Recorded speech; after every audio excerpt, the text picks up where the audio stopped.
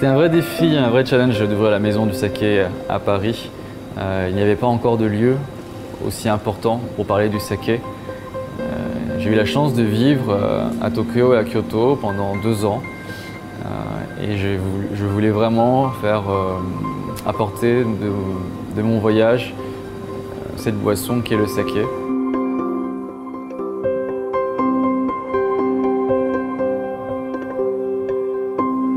Pendant des années, j'ai fait beaucoup de choses euh, autour de cette boisson.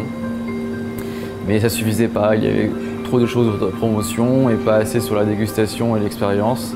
Ça fait maintenant deux ans que la maison du saké est ouverte et un an que le restaurant R a ouvert ses portes en compagnie du chef Keita Kitamura.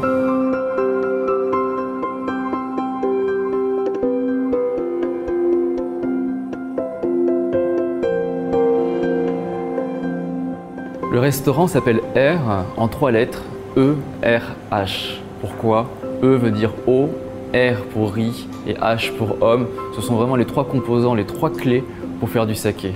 L'eau, puisqu'il faut une pureté de l'eau pour faire du bon saké. Le riz, un peu comme pour le vin, un cépage du riz. Euh, le Japon a beaucoup de différents types de riz.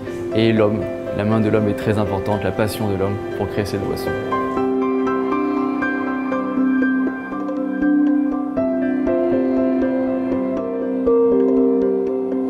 Début, on a eu un peu de mal à trouver le bon concept, euh, la bonne formule, et j'ai pu euh, revoir, retrouver euh, Keita Kitamura, un grand chef parisien à Paris, un japonais.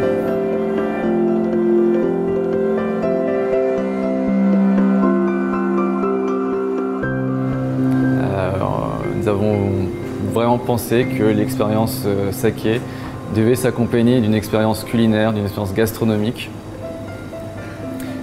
autour euh, des produits, produits français, poissons, la viande, mais surtout des légumes.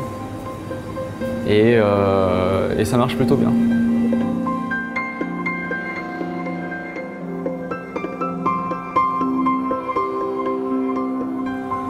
Et donc la maison du saké, le restaurant R, le saké en général ne suffisent pas pour sublimer cette expérience.